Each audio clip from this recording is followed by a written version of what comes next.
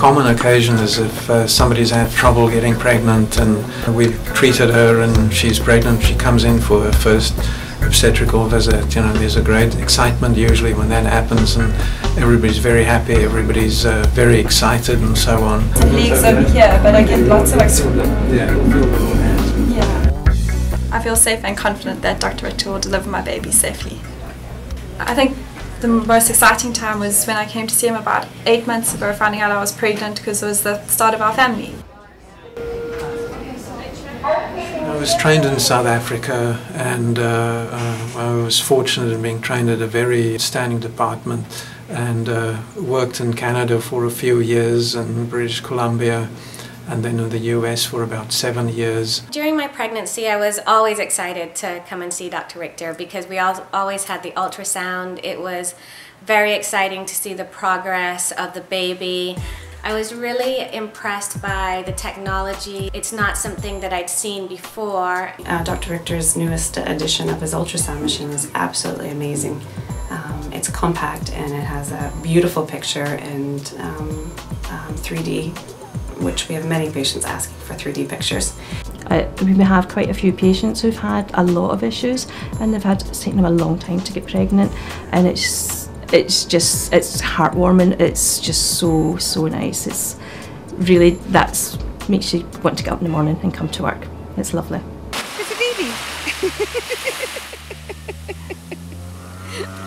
Okay look at the camera. And on the baby. Everyone protect their baby. Baby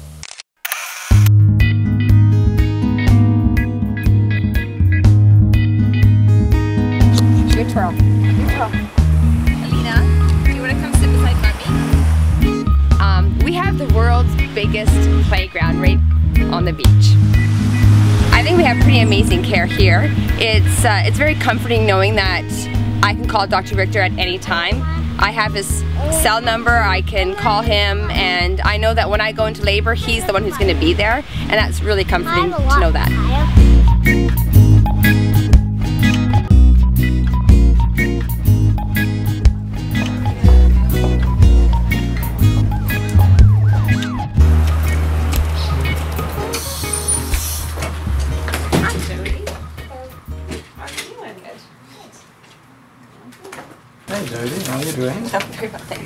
I started to go to Dr. Richter four years ago when I was pregnant with Alina and uh, he has delivered both my girls and we are continuing to see him now. I am pregnant with our third child.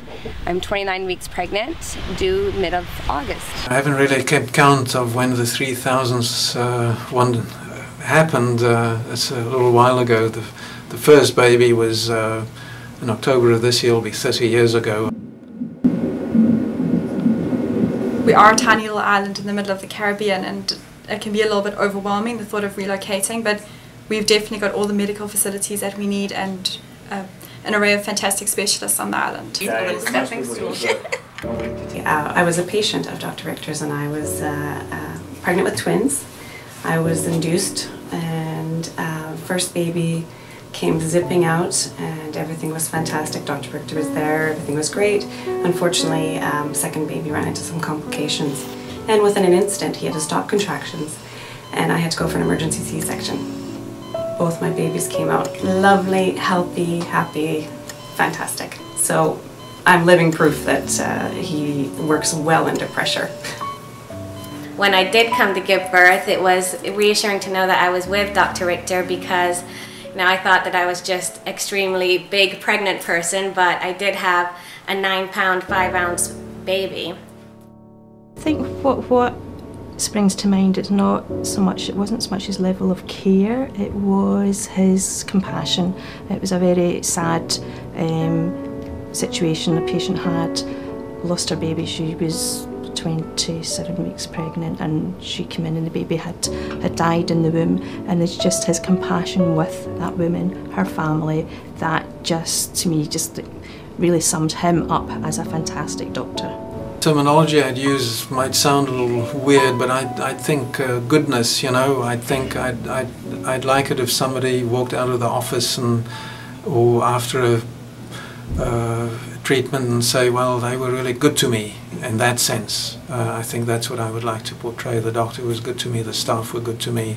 They, did, they not only did a good job, but they were decent to me. They treated me like a human. Uh, uh, and uh, uh, that doesn't always happen, so I think that's, that's, that's what I think it should be.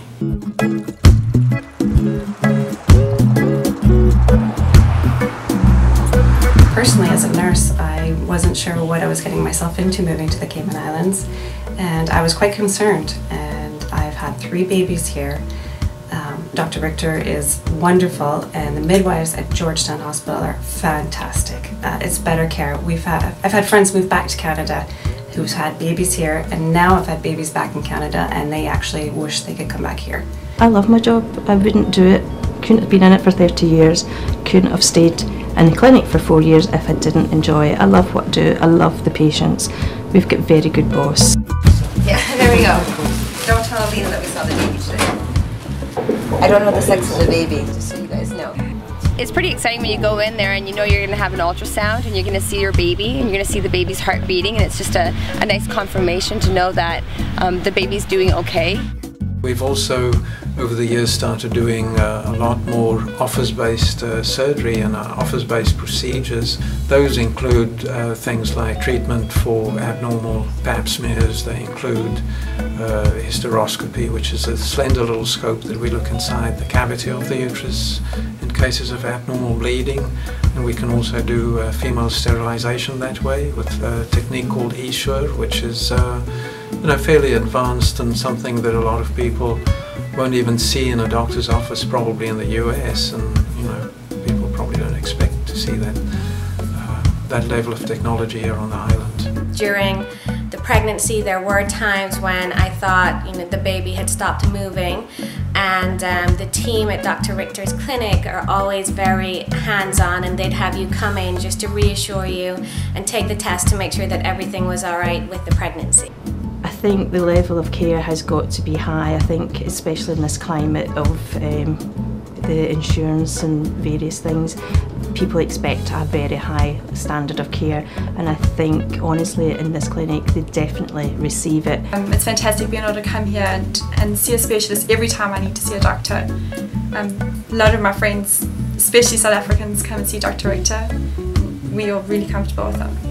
I would highly recommend the medical facilities in Cayman. Um, I highly recommend Dr. Richter to all of my colleagues and people coming down here. I think if people were thinking of coming here and the fact that they're not sure about the doctors and the, the standards, from personal point of view from this clinic, our doctor, all I can say is our doctor really keeps himself up to date. Every doctor in Cayman has to, every nurse has to. We have to do more training than what we ever did in the UK. We have to do 20 hours of training every year, proven training with, with certificates, which you do not do in the UK. So the standard is definitely higher.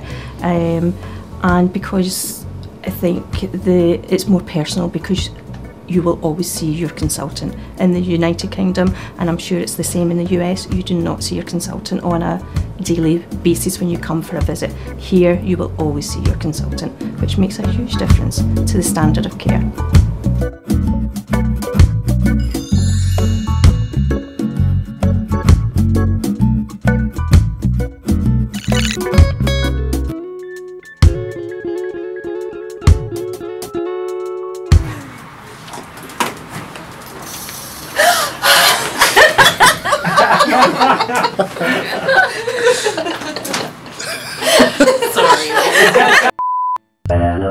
しょう。